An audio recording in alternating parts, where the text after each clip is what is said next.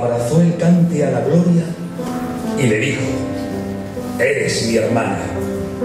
Y el cante hecho suspiro vivió en la garganta de Marifé de Triana. Porque tiene sujetos, coplas y estilos en la voz, en el gesto y en los suspiros. En la torre de tu estilo hay Marifé de Triana. Presos están los suspiros con cadenas de esmeraldas. En un vía crucis de pena, tus coplas cuchillos son. El cielo está traspasado por la prima y el bordón. Sale un quejido del pecho con un dolor de campana que repican por las torres del sentimiento y el alma.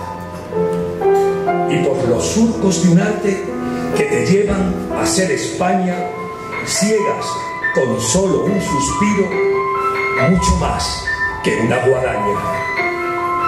El sentimiento ya tiene señora dehesa. En ella pastan los toros negros de la pena negra. A ese toro que es el cante, tu voz de plata torea, que os dejen solos la luna y el chaval de la capea. En las dehesas del toro, tu voz es una res brava que entitona los quejíos. ¡Ay, Marifé de Triana! La peina, el volante, todo se estremece cuando cantas. Deja que las coplas rueden por los rincones del alma.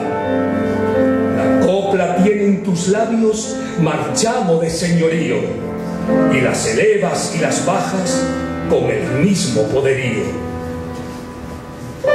Si Marifé de Triana la copla Dios dijera, que mal viento le soplara, ay Virgen de la Macarena. Pero tú nunca harás eso, ¿verdad, Marifé bonita?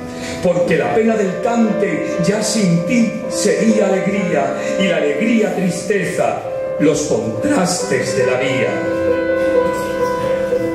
El centro que tú dejases, ¿quién lo tomaría? Pena tendría la copla si la dejarías. Si cuando pasen los años estoy muerto una mañana, no asustarse compañeros, dejó de sonarme el cante de Marifé de Triana.